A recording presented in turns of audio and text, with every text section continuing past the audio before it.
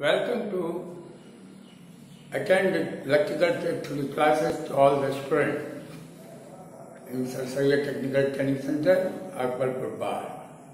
In online classes, now today we are going to establish or just we will study about the electromotive force of a DC generator.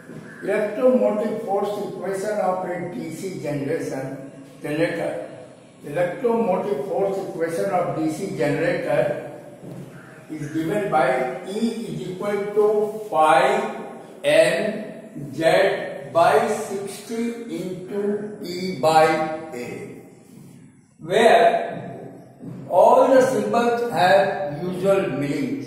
Means E is equal to produced EMF in volt. Phi is magnetic flux per pole in Weber.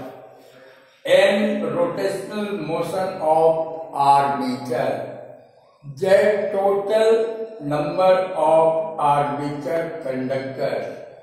P equal to number of poles and A equal to number of parallel parts. But here there are two conditions which is mentioned in the note. In lab wine, A will be equal to T, but in wave wine, A is equal to 2. This value depends upon the nature of winding in the armature coil, where it is lab winding or it is wave winding. Now, kind of excited, self-excited generator.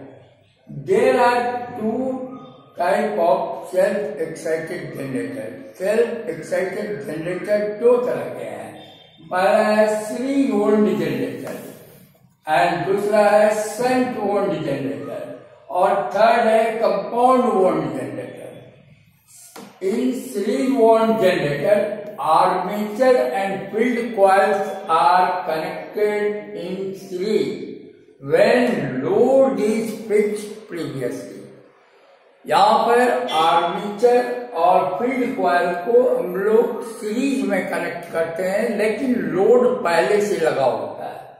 लेकिन इंसेंट वन generator में armature और field coil को हम लोग parallel में connect करते हैं।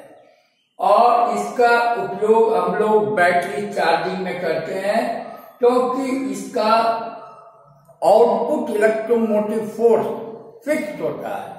इसलिए संट वन जनरेटर में आर्मेचर एंड फ़ील्ड क्वाइल को हम लोग पैरेलल में कनेक्ट करते हैं, क्योंकि इसका बैटरी चार्जिंग में यूज़ होता है और इसका आउटपुट इलेक्ट्रोमोटिव फोर्स हमेशा फिक्स्ड होगा। लेकिन थर्ड पार्ट है, जिसका नाम है compound wound generator. Compound wound generator में क्या है कि आर्मेचर का एक पार्ट फ़ील्ड क्वाइल से सीरीज़ में कनेक्टेड होगा। और आर्मेचर का एनदर पार्ट फ़ील्ड क्वाइल से पैरेलल में कनेक्ट होता है। यही डिफरेंस है। क्या हमने बताया कि कंपाउंड बॉन्ड जनरेटर में आर्मेचर का एक पार्ट फ़ील्ड क्वाइल से सीरीज़ में कनेक्ट रहेगा। और दूसरा पार्ट फ़ील्ड क्वाइल से पैरेलल में कनेक्ट रहेगा। तो दो तरह के हमारे कंपाउंड जनरेटर्स होते हैं। पहला है क्यूमुलेटिव कंपाउंड जनरेटर और डिफरेंशियल कंपाउंड जनरेटर आपका क्यूमुलेटिव कंपाउंड जनरेटर में जो फ़र्स्ट है क्यूमुलेटिव कंपाउंड जनरेटर में लोड करंट in this, इसमें, in this polarity of series field and shunt field will be equal. And load current के बढ़ने पर सीरीज़ फ़ील्ड शंट फ़ील्ड में होने वाली वोल्टेज ड्रॉप को पूरा कर देता है। दूसरा है differential compound generator in this field of series winding work in the opposite direction of field of shunt winding In this way, resultant field will be minimum. Okay?